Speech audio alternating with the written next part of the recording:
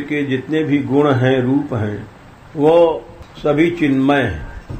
इसीलिए चाहे उनके नाम का चिंतन कर लो, चाहे रूप का चिंतन कर लो, चाहे गुणों का चिंतन करो, चाहे लीला का करो, चाहे जन उनके भक्तों का करो, जहाँ बैठे हैं इसका चिंतन करो, धामी का करो, सब चिन्मय है।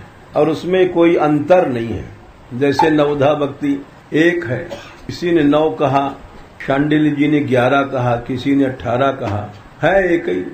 तो ये जो सच्चे भक्त होते हैं, वे प्रीति पूर्वक उनके गुणों का अथवा उनके रूप वर्णन का, लीला वर्णन का आस्वादन करते हैं।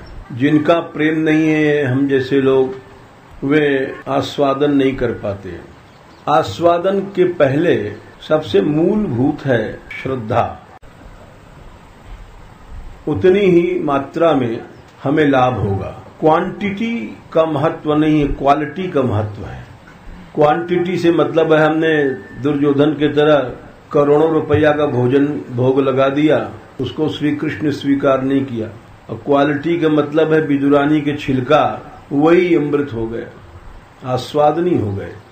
तो वस्तु का परिमाण महत्व का नहीं है। बहुत से लोग सोचते हैं 20 लाख रुपए का भंडारा हो रहा है। किसी ने कहा 35 लाख का कुंवाड़ा हो रहा है। तो ये 35 लाख 50 लाख क्वांटिटी का महत्व नहीं है।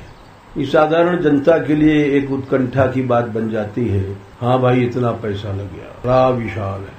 लेकिन क्वांटिटी का महत्व नहीं क्वालिटी का है कि कैसी श्रद्धा, कितनी श्रद्धा, एक कच्ची कौड़ी भी, कौड़ी तो फिर भी ज़्यादा पैसे की होती है। पत्रम पुष्पम फलम तो यम यो में भक्त्या प्रेक्षति तदहम भक्ति परितम वशनामी प्रेतात्मना।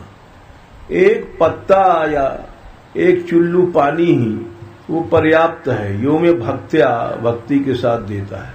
तो सदा ये समझना चाहिए, हम जो गाते हैं, जो सुनते हैं, या जिसका जो भी नियम है, उसमें कितनी श्रद्धा, कितनी मात्रा में है, उसका महत्व होता है। कृपा करो कृपा करो राधा। रानी कृपा करो